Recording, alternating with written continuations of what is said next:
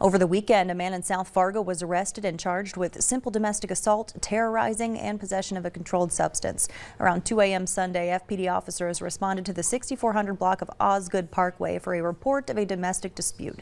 Officers noticed the front door wide open. The incident report says the home was in chaos. The caller was found at a neighbor's house with bruises and red marks on her arms. She said she and Stevenson had a fight after returning home from Pub West and she was afraid of Stevenson. He was found walking on the sidewalk across the street, disoriented and also injured.